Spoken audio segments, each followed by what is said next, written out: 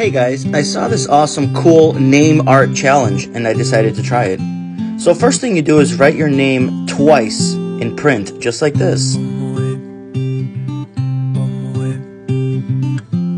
Then the next thing you're going to do is go over it the third time, but this time you're going to do it in cursive. Just do this once. Then take all your favorite colors, markers, colored pencils, crayons, paint, whatever you have, and start filling in all the spaces in between the black lines.